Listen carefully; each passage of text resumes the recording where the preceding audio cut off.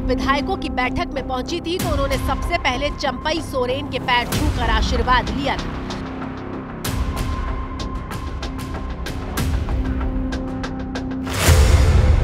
लेकिन देखिए कैसे 24 घंटे के भीतर कहानी बदल गई। कल्पना सोरेन जिनके पैर छूकर सीएम बनने के लिए आशीर्वाद ले रही थी वही रेस में सबसे आगे आ गए। चंपाई सोरेन जी को नेता चुना गया है। हम लोग पराजित होने वाले लोग नहीं हम लोगों ने अपना नया नेता चुन लिया है और आदरणीय चंपई सोरेन जी हमारे नए नेता को- नेता के रूप में प्रस्तुत हम लोग जो समर्थन पत्र देंगे विधायक नया विधायक दल का नेता जिसको हम लोग चुने हैं माननीय चंपा बाबू को तो उसको देंगे अभी जाके हम जब कल्पना के नाम पर मतभेद हुआ तो विधायकों ने चंपई के नाम पर मोहर लगाई। आपके मन में सवाल होगा कि चंपई का ही चुनाव क्यों किया गया?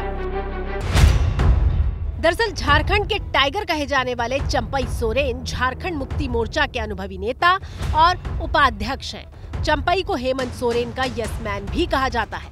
सरायकेला सीट से विधायक चंपई, झारखंड सरकार में मंत्री भी है। झारखंड के सीएम पद के लिए चंपई के नाम का ऐलान होते ही उनके आवास पर जश्न शुरू हो गया था।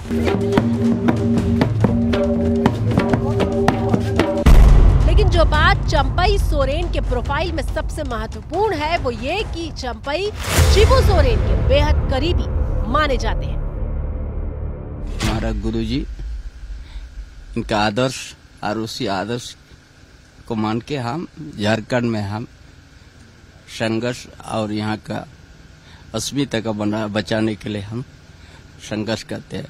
यहाँ का आदिवासी का आवाज़ को कैसे दबाया जाता है? जो आदिवासी का और यहाँ का आवाज़ को कैसे दबाया जाता है? ये बरसों से है, आज से नहीं है।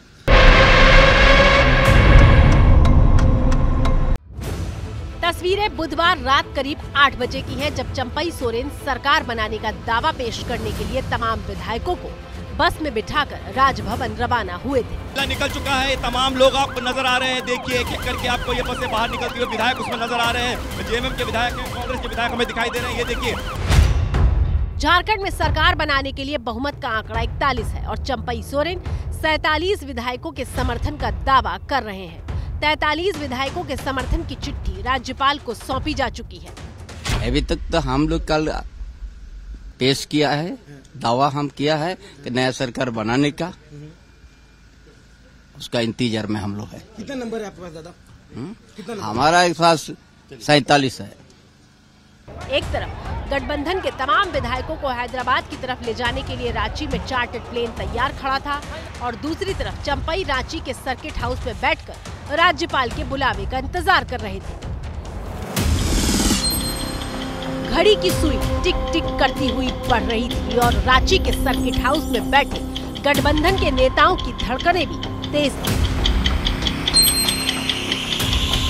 हर किसी को इंतज़ार था राज्यपाल के बुलावे का।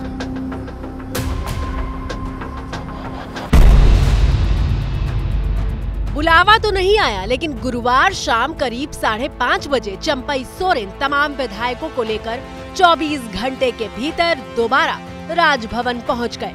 चंपई सोरेन बहुमत की गवाही के लिए पूरे 43 विधायकों को लेकर राजभवन पहुँचे थे, लेकिन सिर्फ़ चार विधायकों के साथ राज्यपाल से मिलने अंदर गए थे। बाहर आने पर चंपई ने सिर्फ़ इतना कहा कि राज्यपाल ने सरकार गठन के लिए जल्द बुलाने की बात कही है। हमने कहा हम लोग ने कहा कि कल हम लोग आठ साढ़े आठ बजे हम लोग दिया है। नया सरकार गठन करने के लिए दावा पेश किया है। एक मिनट एक मिनट अरे भी बीस बाईस एक मिनट। घंटा भी हो अच्छा,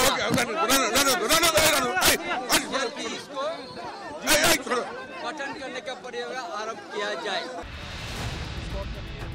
खबर मिली कि राज्यपाल ने विधायकों से कहा है कि वो झारखंड में सरकार को लेकर कल यानी शुक्रवार को फैसला लेंगे। शाम के साढ़े छह बज रहे थे और दूसरे मोर्चे पर खबर आई कि जो चार्टर्ड प्लेन सुबह से विधायकों को हैदराबाद ले जाने के लिए इंतज़ार कर रहा था, उसमें सवार होने के लिए विधायक रवाना हो गए।